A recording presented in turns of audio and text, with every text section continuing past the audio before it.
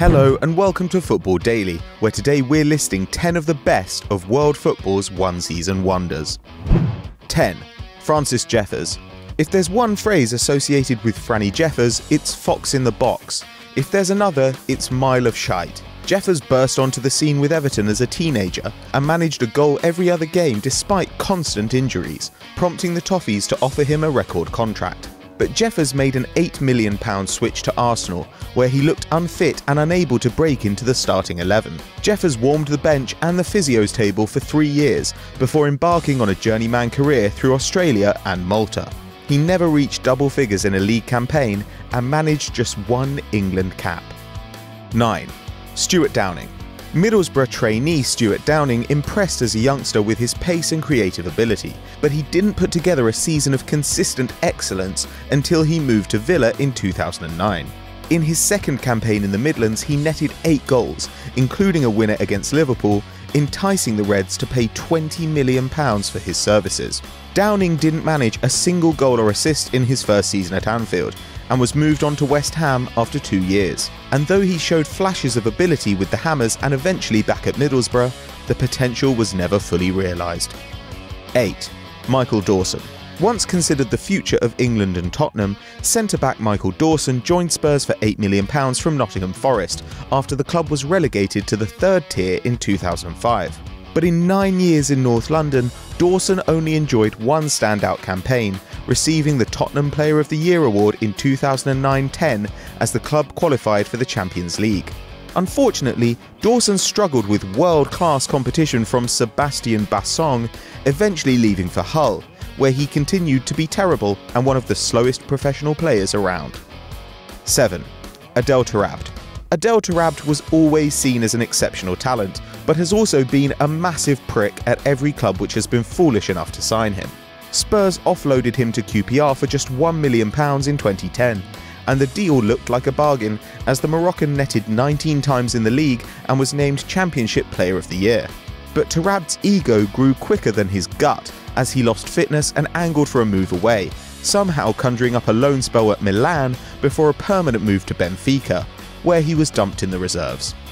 6. Stephen Ireland. If you only manage six caps for Ireland, you probably aren't all that great.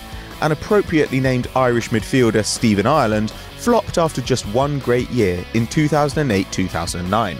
The then 22 year old was voted Man City Player of the Season thanks to his dynamic attacking play and 13 strikes in all competitions. But the arrival of Roberto Mancini saw Ireland benched for veteran Patrick Vieira, and he looked more and more out of place as City ramped up their spending to Galactico levels. Having failed to establish himself at Villa and Stoke since, Ireland's tumble down the shit heap of English football is complete. 5. Papiss Cisse. In January 2012, Newcastle picked up Papiss Cisse to partner countryman Demba Ba in attack. And for five months, everything Cisse hit went in, with the Senegalese netting 13 in 14 Premier League games, including a stunning brace against Chelsea to propel the Magpies to a fifth place finish. But he proved unable to maintain his absurd strike rate, managing just 8 in a full season the next year. And though he did struggle into double figures in 2014 2015, he has never again looked like the goal machine that fans dubbed the heir to Shearer in 2012. 4. Ciro Immobile Ciro Immobile has actually had two good seasons, but the first was in Serie B, when the Italian scored 28 goals for Pescara with service from Lorenzo Insigne and Marco Verratti.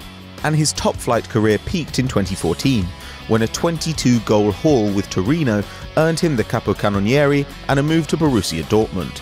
But Immobile failed to fill the boots of the departing Robert Lewandowski, scoring three league goals, and a loan to Sevilla could not spark a revival. He's since returned to Turin, and this time perhaps he should stay there. 3. Daniel Guiza. Daniel Guiza was a hot prospect in Spain as a youngster, and after scoring regularly in the Segunda División, he gained a move to top flight Getafe and then to Mallorca.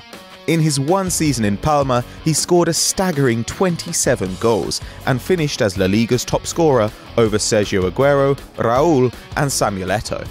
Fenerbahce took Guiza to Turkey for 14 million euros, but the Spaniard could not replicate his stellar form at Mallorca, managing only 23 goals in three years with Fener.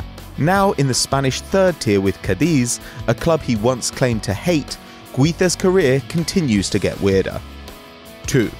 Roque Santa Cruz. Roque Santa Cruz had joined Bayern Munich at 18 and spent 8 years with the Germans, so it was a little surprising when he joined Blackburn Rovers for £3.5 million in 2007 and Paraguay's all-time top scorer looked like a world beater when he racked up 19 goals in his first season and was named Blackburn's Player of the Year. A year later, Man City paid £17.5 million for his services, but they were rewarded with four goals over two seasons. And in the seven years after leaving Blackburn, Santa Cruz has notched a miserable 33 league goals. 1. Michu Spanish striker Michu took off like a rocket after arriving at Swansea from Rayo Vallecano, and his 18 goals and £2 million price tag inspired envy in the rest of the Premier League and a new contract after just six months. With Arsenal and Liverpool sniffing around, the Swans stubbornly fended off interest in their asset with a £25 million valuation. But Michu's stock plummeted when a dismal 2013 2014 brought just two goals and he was shipped out to Napoli on loan, where he faltered again. In 2015, Swansea finally cut him loose, and the Spaniard signed with amateur side Langreo back in his homeland. So that was our biggest one season wonders, but who would you have selected? Let us know in the comments below. And if you enjoyed this video, why don't you check out Wednesdays on the best returning heroes featuring Paul Scholes and Thierry Henry. And as always guys, please do like and subscribe.